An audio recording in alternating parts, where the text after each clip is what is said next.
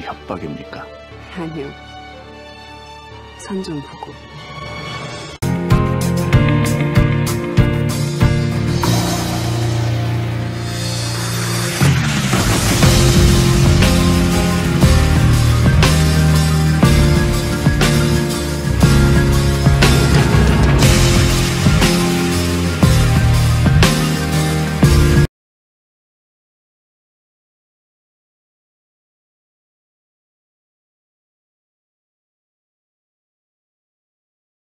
사업자 진술도 거짓인 것 같고 침입한 사람도 있는 것 같고 수상한 점이 한두 가지가 아니에요.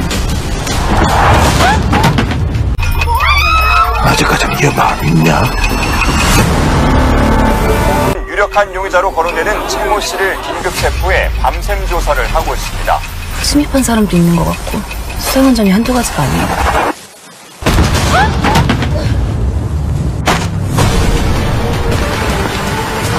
아, 추장님 오셨어요?